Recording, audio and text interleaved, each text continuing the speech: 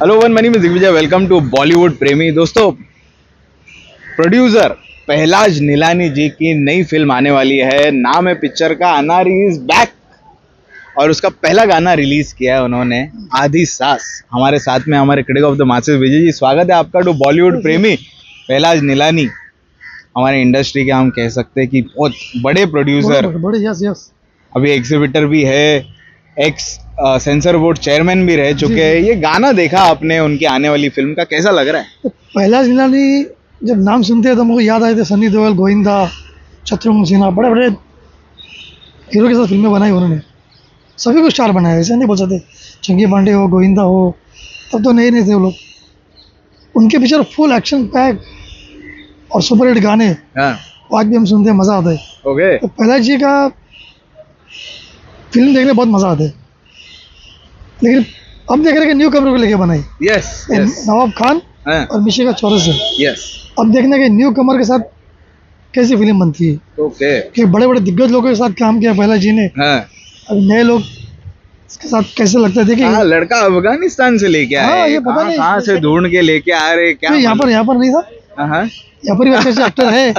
लेकिन वो चलो उनका कुछ सोच होगा। अलग कहानी होगी इसलिए वहाँ से लेके आए वो। गाना बहुत अच्छा है। ओके आधी सास। आधी सास ऐसे गाना वो एक गाना और भी आया है हाँ हाँ एनिमल का वैसे ही गाना है। हाँ हाँ तो हम लोग हमेशा कहते हैं ना दो फ़िल्म क्लैश होगी।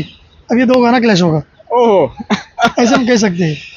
गाना बहुत अच्छा पिक्चराइज किया है। करेक्ट हीरोइन पे फोकस ज़्यादा किया है। ओके मिशिका पे। कैसी लग रही है मिशिका? बहुत बहुत अच्छी लगती है स्क्रीन पे कैसी लग रही है? स्क्रीन पे बहुत अच्छी लग रही है।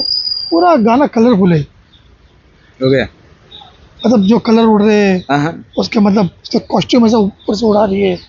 पूरा कलरफुल गाना है। करेक्ट लव सॉन्ग है। हाँ अच्छा गाना बना है करेक्ट आपने जैसे कहा विजय जी की न्यू कमर्स को लेके ले, पिक्चर बनाई है पहला जी ने उनके साथ में अभी रिसेंटली इंटरव्यू में मैंने उनको पूछा कि पहला जी इतने सारे न्यू कमर्स की पिक्चरें आ रही है लेकिन बॉक्स ऑफ़िस पे गड़बड़ हो जा रही है। जी हाँ जी हाँ।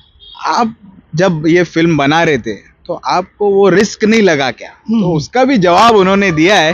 ये इंटरव्यू में आप सभी लोग देखना कि क्या जवाब दिया है। हमारे इंडस्ट्री के बड़े प्रोड्यूसर पहलाज नीलानी जी ने। गाना पसंद आया है पहला कलरफुल गाना है। तो जमाने से पिक्चर बना तो उनको सब मालूम है या कि कौन सी पिक्चर हिट होगी फ्लॉप होगी वो तो उनको ही पता है। जी।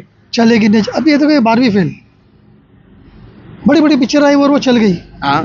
तो ये किसी को नहीं पता चलता कि कौन सी पिक्चर सुपर हिट होगी। ओके तो छोटी फ़िल्म बड़ी पिक्चर बन जाती है।